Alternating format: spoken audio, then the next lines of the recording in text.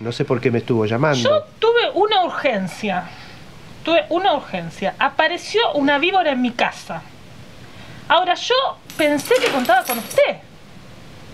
Y al final me parece que es mucho más útil que llame a los bomberos, que le pague un bombero para que me asista, que pagarle a usted, que no me resuelve nada, que me miente, que me dice que eso no puede suceder y sucede. Usted no quiere entrar a su casa nunca más, ese es el problema. Yo no sé si tal vez eh, sería interesante hacer una interconsulta psiquiátrica con usted.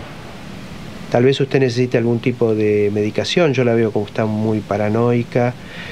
Eh, hay algo que la está persiguiendo y no sabemos bien qué es. Usted lo pone, le pone el nombre víbora, yo tengo mis reparos en ese sentido. Pero tal vez haya que pensar en algún tipo de medicación, algún ansiolítico.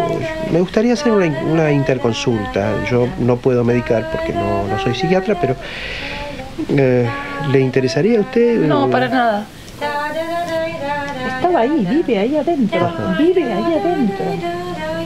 Bueno, y vive. Eh, apareció de la nada, por dónde apareció, ¿Qué, ¿qué supone usted? A ver. No sé, ¿usted sabe de dónde vienen las hormigas? Yo no.